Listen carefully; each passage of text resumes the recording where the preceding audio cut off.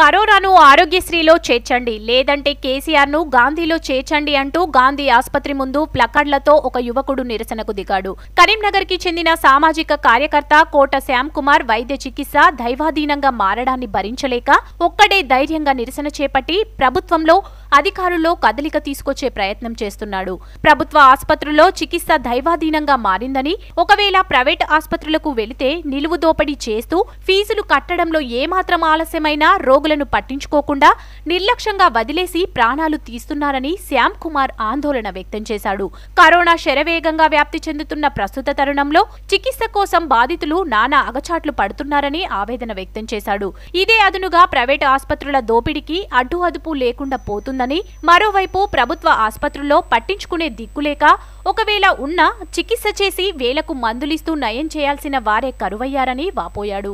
పేదలు చికిత్సకు నోచుకోక చనిపోకూడదని ప్రభుత్వం భావిస్తే వెంటనే కరోనాను ఆరోగ్యశ్రీలో చేర్చాలి. లేదంటే సీఎం కేసీఆర్ మరియు మంత్రి కేటీఆర్లను గాంధీ ఆసుపత్రిలో చేర్చాలంటున్నాడు. ఎందుకంటే గాంధీ ఆసుపత్రిలో సరైన సదుపాయాలు లేక ఇక్కడ పట్టించుకోవడం లేదని కొంతమంది ప్రాణం మీద ఆశతో ప్రైవేట్ హాస్పిటల్లో చేర్పించి అప్పుల పాలవుతున్నారని ఆందోళన వ్యక్తం చేశాడు. ప్రజలే మా దేవుళ్ళు. ప్రజల కోసమే మేము ఎన్నో గొప్ప గొప్ప మాటలు చెప్పే రాజకీయ నాయకులు ప్రజల ప్రాణాలను గాలికి వదిలేసి చోద్యం చూస్తుండడం బాధాకరమని దీన్ని ఖండిస్తూ ప్రజల శ్రేయస్సు కోసం కరోనా రోగాన్ని వెంటనే ఆరోగ్యశ్రీలో చేర్చండి లేదా సీఎం కేసీఆర్ మరియు కేటీఆర్లను గాంధీలో చేర్చండి అని డిమాండ్ చేశారు.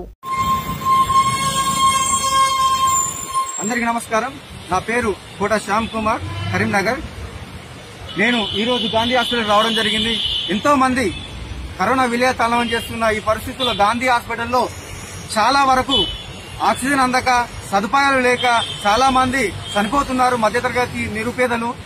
అట్లీస్ట్ కరోనాను ఆరోగ్యశ్రీగా చేర్చుంటే ప్రైవేట్ హాస్పిటల్లో చూపించుకునే వాళ్ళు అనుకొని చాలా మంది రోధిస్తున్నారు ఇక్కడ మన గాంధీ హాస్పిటల్లో. దయచేసి ప్రభుత్వం మీరు వెంటనే చర్య తీసుకొని కరోనాను ఆరోగ్యశ్రీగా చేర్చాలని తెలియజేస్తున్నాను. లేకపోతే కరోనాను ఆరోగ్యశ్రీలో చేర్చకపోతే మీరు ఈ గాంధీ హాస్పిటల్కి ప్రజల మీద నమ్మకం కలిగించే విధంగా సీఎం కేసీఆర్ గారు అండ్ కేటీఆర్ గారు మీరు వెంటనే గాంధీ హాస్పిటల్లో ట్రీట్మెంట్ తీసుకోవాలని నేను తెలియజేస్తున్నాను. అంటే రాజకీయ నాయకులు ఒక విధం సామాన్య ప్రజలకు ఒక న్యాయమా అని నేను ప్రశ్నిస్తున్నాను. సీఎం గారు ఇంతకుముందు మనకు చెప్పారు లక్షల కోట్లున్న మంచిదే కోటాను కోట్లున్న మంచిదే కరోనా సోకితే ఖచ్చితంగా గాంధీ హాస్పిటల్లోనే ట్రీట్మెంట్ చేసుకోవాలని చెప్పారు. అదే నేను సీఎం గారిని ప్రశ్నిస్తున్నాను మీరెందుకు గాంధీ హాస్పిటల్కి రావడం లేదు? కేసీఆర్ గారిని ప్రశ్నిస్తున్నాను. మీరెందుకు ట్రీట్మెంట్ కోసం గాంధీ హాస్పిటల్ రావడం లేదు? అంటే మీ మాత్రం ప్రాణాలు ఇక్కడికి వచ్చే నిరుపేదల భద్రత కుటుంబీకులే మాత్రం ప్రాణాలు కాదా అని తెలియజేస్తున్నాను. ప్రైవేట్ హాస్పిటల్ ఇక్కడ ఇక్కడికి తీసుకొచ్చి చాలా మంది సదుపాయాలు లేక చనిపోతున్నారు కాబట్టి వాళ్ళ తరఫున నేను మాట్లాడుతున్నాను. వాళ్ళకు కెపబిలిటీ లేక ఇక్కడికి వస్తున్నారు. ప్రైవేట్ హాస్పిటల్కి వెళ్తే లక్షల లక్షల రూపాయలు దండుకుంటున్నారు.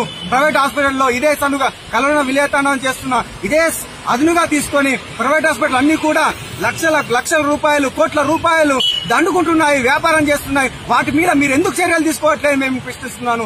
దయచేసి ఇప్పటికైనా మీరు మేల్కొని కరోనాను ఆరోగ్యశ్రీలో చేర్చాలి అని తెలియజేస్తున్నాను. ఒకవేళ మీరు కరోనాను ఆరోగ్యశ్రీలో చేర్చకపోతే ఇక్కడ గాంధీ హాస్పిటల్ చనిపోయిన నిరుపేద మధ్యతరగతి కుటుంబీకులు ప్రతి ఒక్కరు కూడా ట్రీట్మెంట్ అందక చనిపోయిన ప్రతి ఒక్కరి ఆత్మ ఘోష తప్పకుండా మీకు తలకి మీ బలి మిమ్మల్ని బలి తీసుకుంటారని నేను హెచ్చరిస్తున్నాను తెలియజేస్తున్నాను. జై హింద్ జై భారత్. మీ భారతీయుడు కోట శ్యామ్ కుమార్. దయచేసి ఇప్పటికైనా మేల్కొని కరోనాను ఆరోగ్యశ్రీలో చేర్చండి.